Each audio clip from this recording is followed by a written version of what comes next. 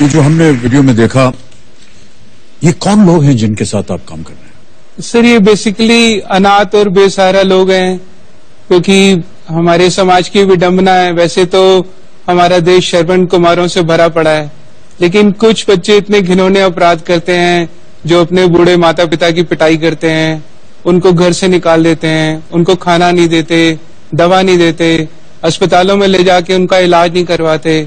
और बहुत बार तो उनको सड़कों पर मरने के लिए छोड़ देते हैं। मतलब इतने इतने भयानक केसेस हमारे यहाँ पर आते हैं। जैसे सर एक एडमिशन आया, जिसमें एक लड़के ने अपने बूढ़े पिता को 10 साल से कमरे में बंद किया हुआ था।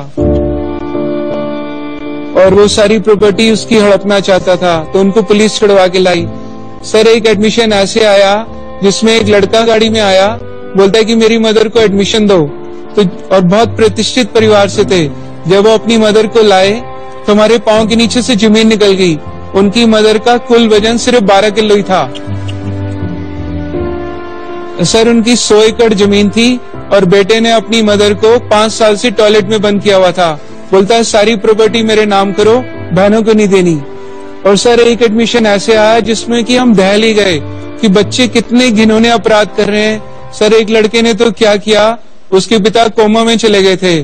तो वो लड़के ने सर धोखे से अपने पिता का घर भेज दिया और अपना यूएस का ग्रीन कार्ड बनवा लिया और फ़्लाइट के चार घंटे पहले अपने फादर को किराए के कमरे में बंद करके कमरे में बड़े बड़े चूहे छोड़ दिए। और खुद अमेरिका भाग गया। इसके अलावा सर क्रुएलिटी इतनी चरम सीमाएँ पार कर चुकी है कि इंसान सिर्फ़ अपने ही शल में होके रह चुका है। हम पत्थर देर और कठोरता की तरफ़ बढ़ते जा रहे हैं। तो सर, मैं आधी आधी रात को जाकर ऐसे लोगों को सड़कों से ढूंढता हूँ, जिनको कीड़े पड़े होते हैं, जो लाइलाज बीमारियों से ग्रस्त होते हैं, या ऐसे लोग जो सड़कों पे बिना कपड़ों के नंगे घूमते हैं, या नालों में सड़े गले पड़े रहते हैं। तो सर उनको आधी आधी रात को ढूंढकर अपनी गोद में लेके आता हूँ। फिर अपने गुरुकुल के अंदर उनको रहना, खाना, दवा और रोज़मर्रा की सभी सुविधाएँ निःशुल्क देता हूँ। तो ऐसे सर भगवान जी के आशीर्वाद से दस साल के अंदर कोई हज़ारों लोगों को सड़कों से रेस्क्यू कर लिया। हज़ारों लोगों के परिवार भी ढूंढ दिए, उनको यूनाइट करा दिया। और अभी कई सौ बेसहारा लोग हमारे यहाँ परमानेंट रहते हैं।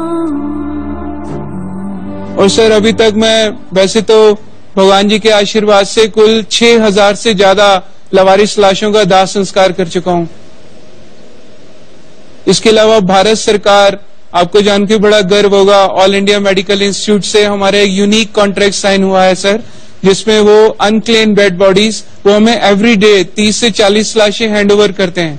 सर इनमें अनक्लेम बॉडीज हैं ये? यस सर यानी कोई आता नहीं बताने के लिए कि कौन नहीं सर बच्चे आजकल माँ बाप की अस्थियाँ लेने भी नहीं आते सर